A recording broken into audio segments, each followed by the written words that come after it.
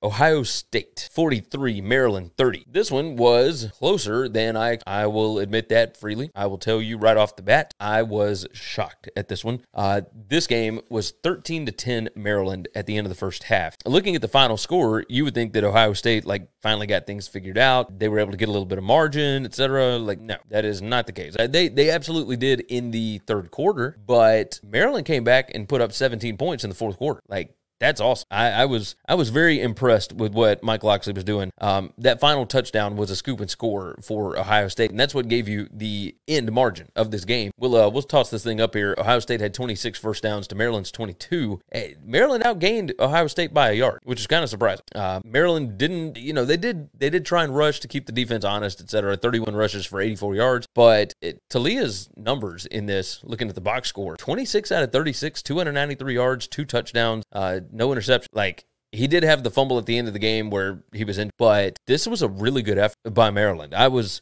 I was a little bit shocked. Um, Maryland had the ball at their own 42 yard line with six minutes and 20 seconds left. They were only down by three and they went three and out. That was their missed opportunity, right? It was 33 to 30. They had a shot right there. Uh, the Ohio State defense showed up when they had to, and it, that's kind of, you know, they didn't do the exact same things that they did against Penn State, but this was, you know, this was the spot where the defense had to show up again, and they did it again. This was uh this was a good game. Maryland is uh is six and five, um, and this is a good team. Man, their defense has been a lot better than I think any of us would have anticipated. They are they are really good, really really good. All right, the next one on the docket game from last night finished uh kind of late, not as late as Oregon and uh and Utah, but regardless, uh oh it's zone six jumps in. Uh, Taulia is a baller, and if uh if he's on, he plays games like this. Yeah, that's kind of the same thing as Spencer Rattler, right? Like where when he's on, you are in trouble, trouble.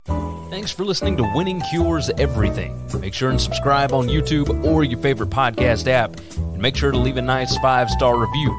You can follow Gary on Twitter at GaryWCE, and the show is at Winning Cures. Be sure to check out the merch in our web store and share the show.